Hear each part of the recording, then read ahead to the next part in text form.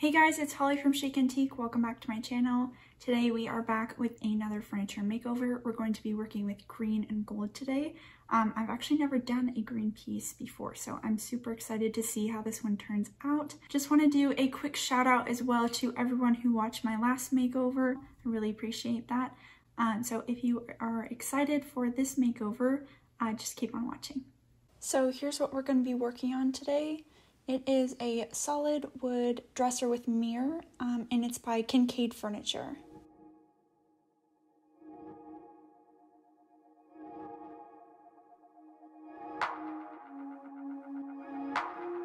It's in pretty good condition overall, but the top is a little bit worn down, so I'm going to show you how to fix that up.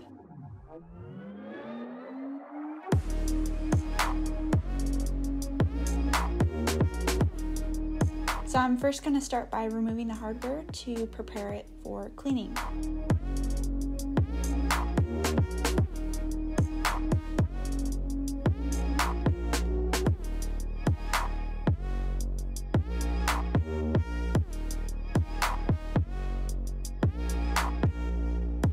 And I'll be cleaning the piece using Dixie Belle's White Lightning Cleaner.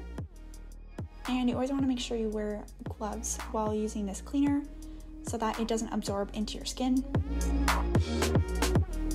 And I'm just going to be cleaning the whole piece with a microfiber rag.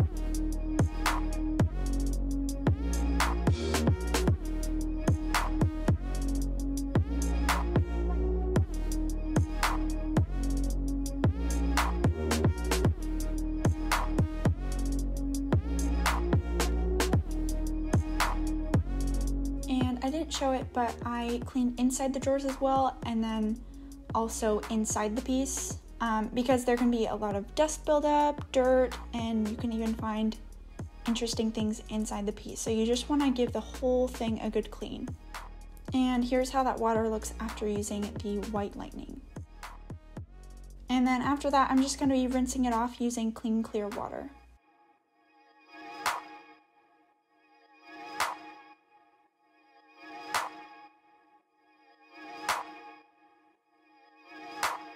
I'm going to be replacing the hardware with a handle. Um, so I'm just showing you my process of measuring and drilling the holes for that new hardware.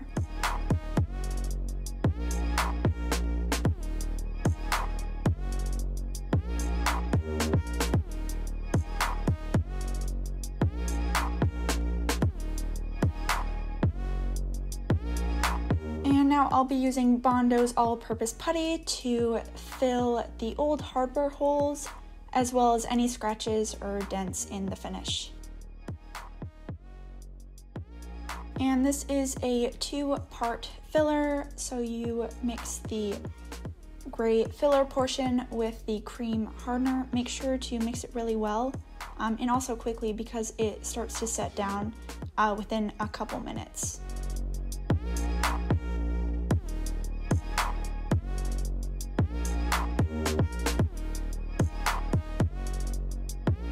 I'll just be filling in any scratches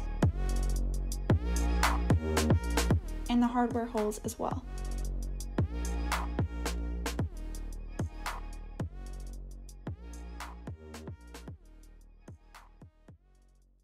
After that's all dry, I'm going to be sanding it using 180 grit sandpaper using my random orbital sander.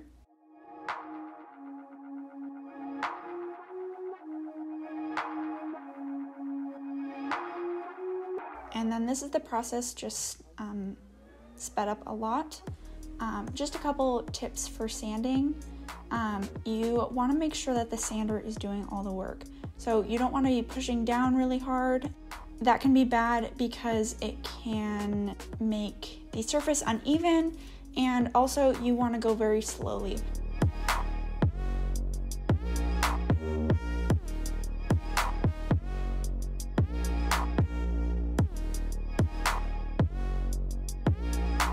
Wood filler does dry very, very hard, which is really nice, but it also can make it hard to sand down.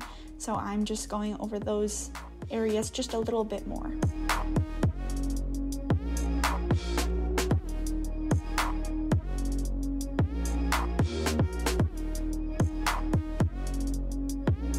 And now to smooth that out, I'm going to be using 220 grit sandpaper on a sandy block.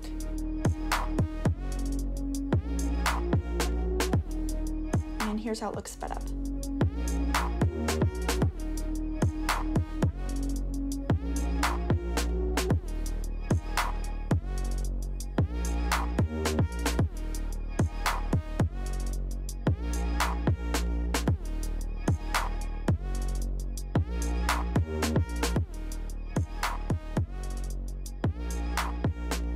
And just to smooth it out even further, I am using 320 grit sandpaper as well.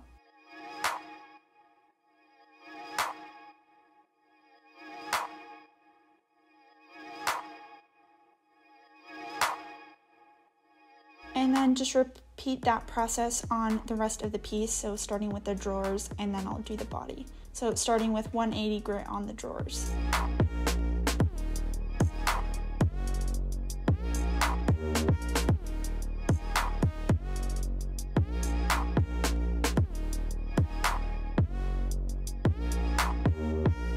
And then here I'm doing the drawer fronts with 180 grit as well. And if you're using um, any kind of sander, whether it's an electric sander or sanding by hand, always make sure you're wearing some sort of um, breathing protection, either some sort of mask or a respirator, so that you're not breathing in um, those particles. And now I'm just wiping off the excess dust and then going over with 220 grit on the drawers.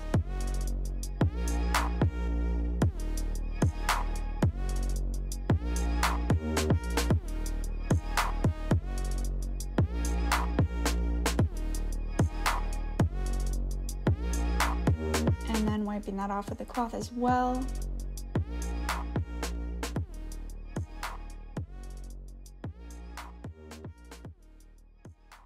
And I always use tack cloth because I think it works a lot better than a wet rag or just a microfiber rag. So I always use a tack cloth um, after wiping down initially with a rag. And then just doing that same process on the rest of the piece.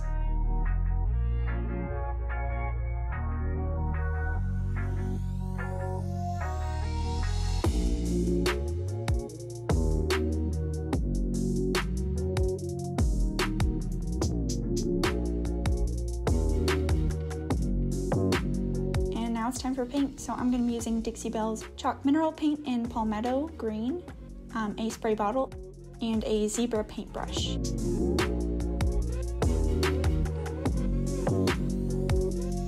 This is my first time using a Zibra brush and I did like it, um, but you see a little bit later I switched to my Annie Sloan uh, natural hair brush. I'm just kind of used to that one and I like how stiff the Annie Sloan one is so I switched to that one a little bit later. Although I do really like this brush because it is so wide, so it goes a little bit faster and it makes my lines really, really straight, which is great.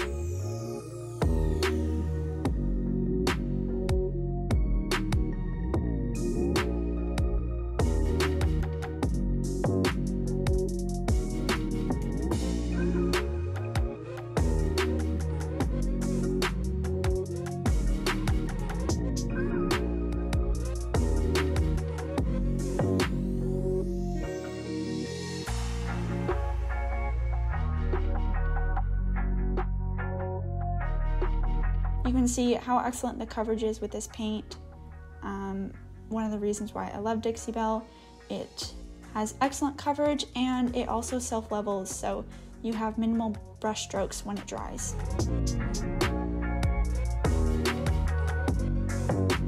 And as you can see, I like painting horizontally instead of going section by section, especially because I am trying to go for a very smooth modern look with this piece. So I'm painting side to side instead of doing small sections at a time. Um, if you're looking to get more of a farmhouse or distressed um, texture look, um, you can paint in all directions, but if you want to get more of a smooth, modern look, you can try painting horizontally like I am.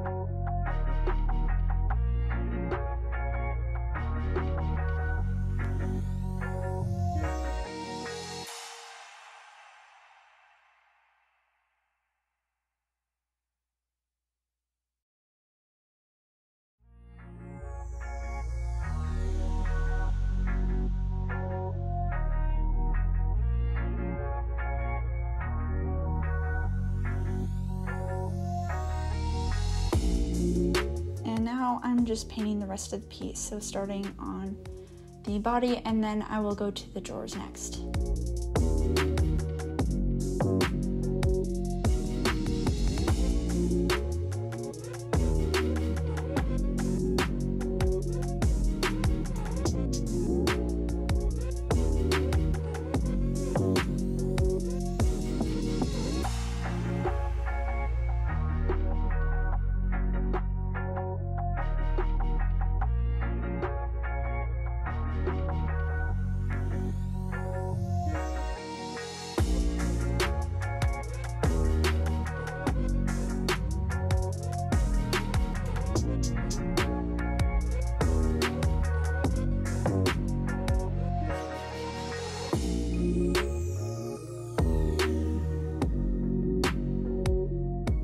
Like to paint these sections um, inside where the drawer goes.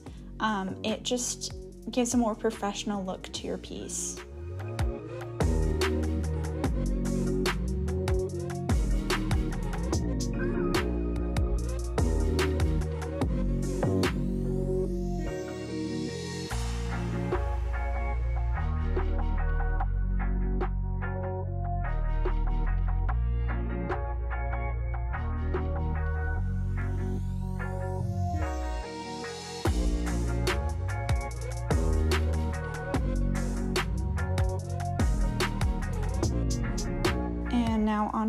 As well.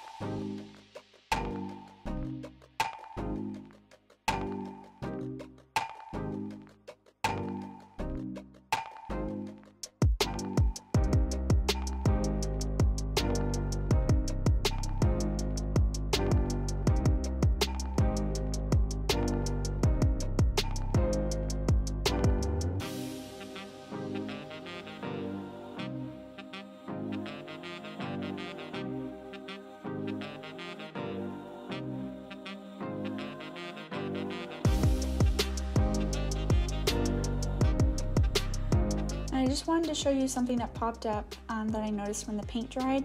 There are these dark marks that almost look like grease or oil. That could be from several things. Um, either somebody sort of stained the piece with oil and obviously they cleaned it up but it soaked into the wood. Um, so it could be like an oil stain or it could also be some of the wood bleeding through. So I'm just going to be sealing that up um, with a primer. This Boss primer blocks odors, stains, and stops bleed through. So I'm just gonna apply that in those areas.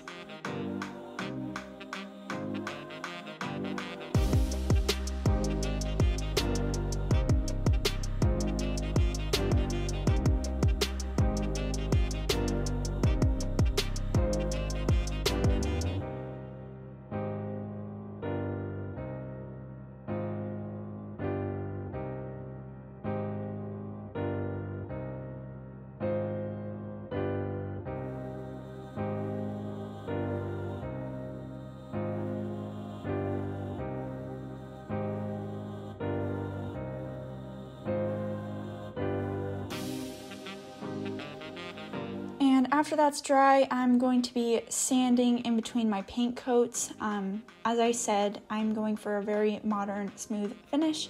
So I'm going to be sanding in between coats using 320 grit sandpaper. Um, and then on those spots where I primed, I am starting with 220 grit first, um, and then going over the rest with 320 grit. If you're going for a smooth finish, I would recommend sanding it in between coats. It works really well to level everything out and make it very, very smooth. And then I'm wiping off the dust with a microfiber cloth. And then a tack cloth as always.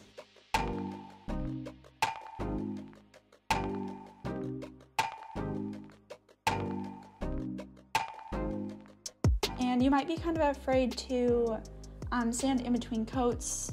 As you can see here, it it almost gives it like a streaky white look, but that is completely covered by the paint and it doesn't show up after you paint. So here is the second coat going on and it completely covers that. So you don't need to worry about the sanding changing your finish.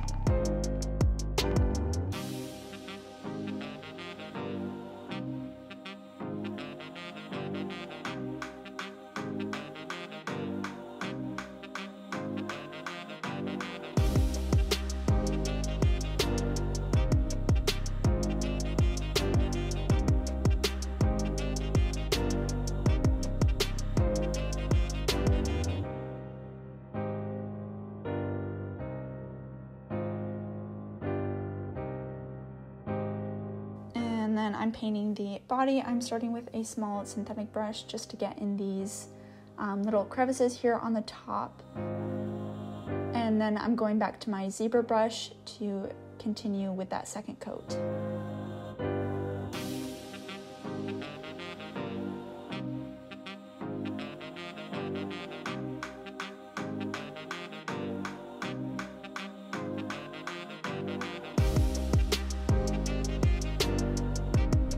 And here's the second coat on the drawers as well.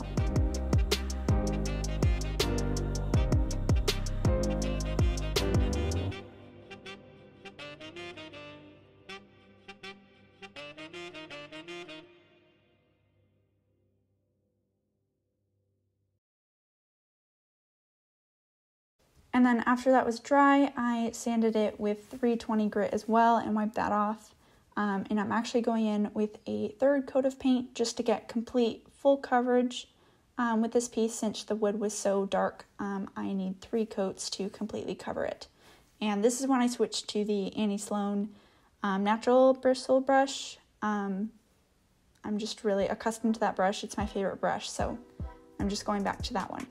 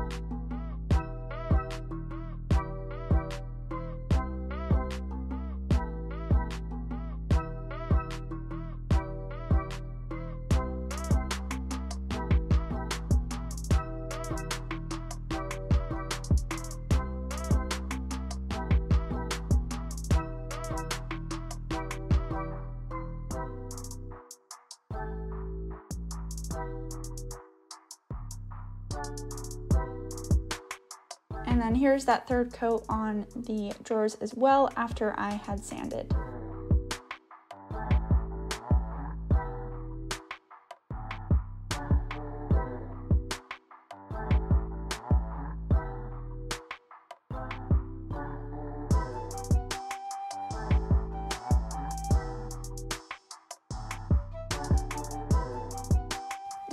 Sealing the piece using Dixie Belle's Gator Hide. It is their most protective top coat and I'm going to be using their blue sponge damp to apply that. It is their water resistant top coat and it's also their most durable. So I'm going to be pouring that into a paper bowl.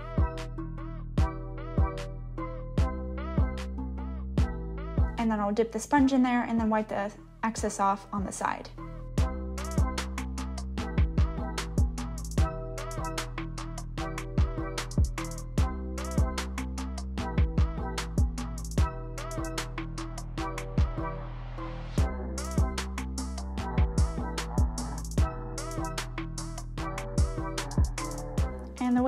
To apply this um, is section by section. So I start in the middle of my section, go to the right, and then go from the middle of the section to the left and then smooth that out. You don't want to overwork this because it's going to look more streaky and it won't level out as well. So you want to just get it on there, smooth it out very quickly using maybe one or two strokes and then leave it alone. And if you don't like how something looks while it's drying, don't even try and go over it. Just let it be and you can always sand after it's dry and my sponge was feeling a little bit dry, so I just dampened it uh, just a little bit more. And here's the process sped up.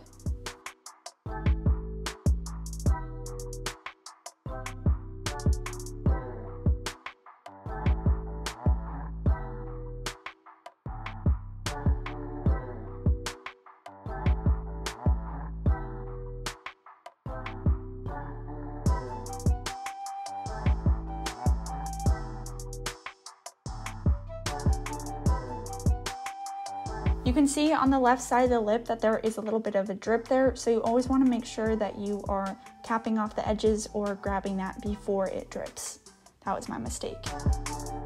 And now I'm going to be doing the same thing on the drawers. I apologize, my camera wasn't focused here, but you can still see the process.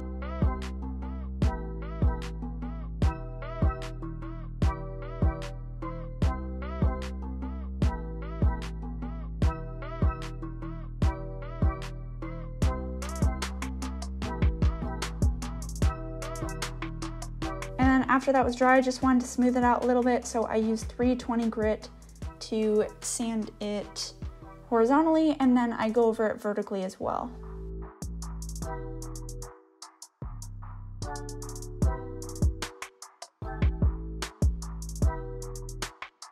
And I really like gator hide, but it kind of has more of a high satin finish um, and I was looking for more of a matte look with this piece. I didn't really realize that until I put the gator hide on. I didn't really like how it looked. So after doing one coat of gator hide, I decided to use clear coat and flat on top of that to get the flat finish I was looking for. So I'm just applying that on the corners with a small synthetic brush.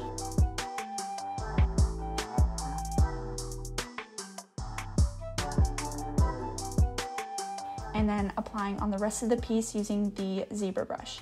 And I actually really liked how the Zibra brush performed using top coat, so I think I will continue to use this um, as my brush to top coat in the future.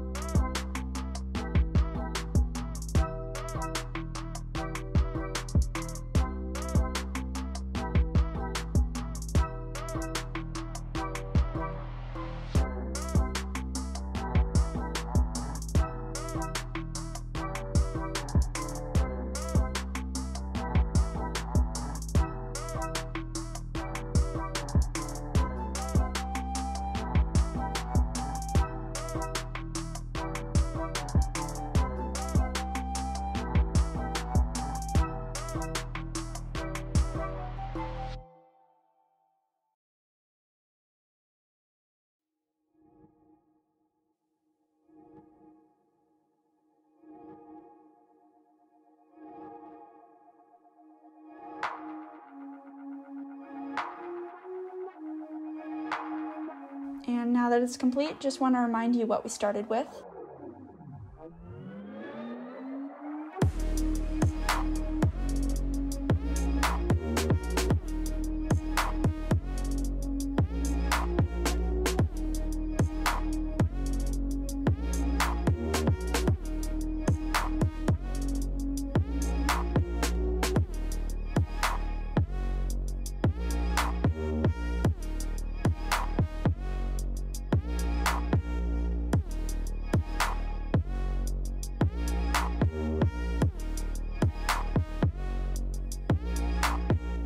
Here's how it looks now.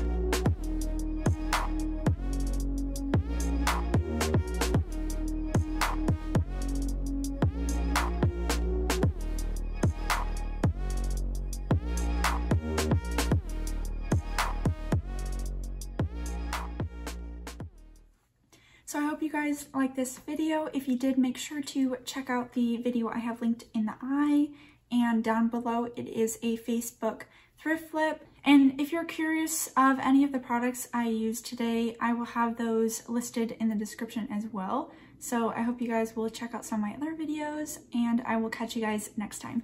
Bye.